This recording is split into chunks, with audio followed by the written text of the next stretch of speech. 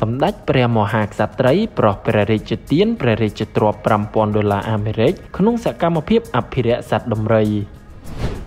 សម្ដេចព្រះមហាក្សត្រីនរោត្តមមុនីនាថសីហនុព្រះវររាជមេដាជាតិខ្មែរព្រះអង្គសពព្រះរាជហឫទ័យប្រោះព្រះរាជទាននៅព្រះរាជអំណោយជាព្រះរាជទ្រព្យចំនួន5000ដុល្លារអាមេរិកជូនសហគមន៍អភិរក្សដំរីអៃរ៉ាវតាសម្រាប់ជាវិភាគទានក្នុងសកម្មភាពអភិរក្សសត្វដំរីនៅកម្ពុជា សមាគមអៃរ៉ាវតាជាកន្លែងដែលផ្ដល់ឱកាសការងារដល់ម្ចាស់ដំរីនិងប្រជាពលរដ្ឋក្នុងខេត្តរតនគិរីមួយចំនួនដែលធ្វើឲ្យជីវភាពម្ចាស់ស្រុកកាន់តែប្រសើរឡើងមួយកម្រិតរិតនិងជាកន្លែងចូលរួមក្នុងវិស័យទេសចរធម្មជាតិដើម្បីផ្សារភ្ជាប់គ្នារវាងដំរីវប្បធម៌និងធម្មជាតិកម្មវិធីអភិរក្សសត្វដំរីកំពុងដំណើរការបន្តិចម្ដងបន្តិចម្ដងដោយមានគោលបំណងធំបំផុតគឺជាការបង្កាត់ពូជដំរីបន្ថែមទៀតគួរបញ្ជាក់ថាបច្ចុប្បន្ននេះអត្រាសត្វដំរីនៅទូទាំងប្រទេសកម្ពុជា Download ថ្នោត app ឥឡូវនេះលោកអ្នកនឹងទទួលបានទាំងព័ត៌មាននិងឱកាសលេងកម្សាន្តយ៉ាងសម្បូរបែប គួរបញ្ជាក់ថាបច្ចុប្បន្ននេះអត្រាសត្វដំរីនៅទូទាំងប្រទេសកម្ពុជាមានការធ្លាក់ចុះគួរឲ្យកត់សម្គាល់ដោយសារកត្តាធម្មជាតិនិងកត្តាមនុស្សក្រៅពីដំរីព្រៃដែលកំពុងស្ថិតក្រោមការយកចិត្តទុកដាក់ពីសំណាក់ក្រមអភិរក្សដំរីស្រុក